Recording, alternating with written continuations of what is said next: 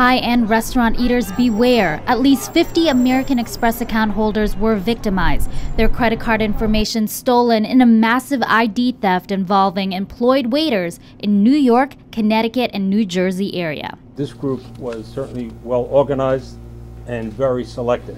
The New York District Office, NYPD, and Secret Service came together in an 18 month investigation, busting 28 people.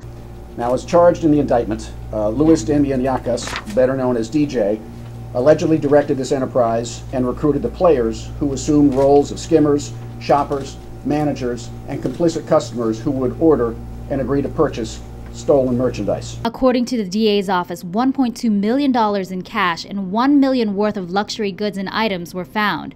Handheld skimmers like this were used to gather victims' information and then re encoded into blank credit cards. Luxury items were then bought and sold to make profit. The skimmers specifically looked for cards with high spending limits and the sort of customers who may not notice expensive charges.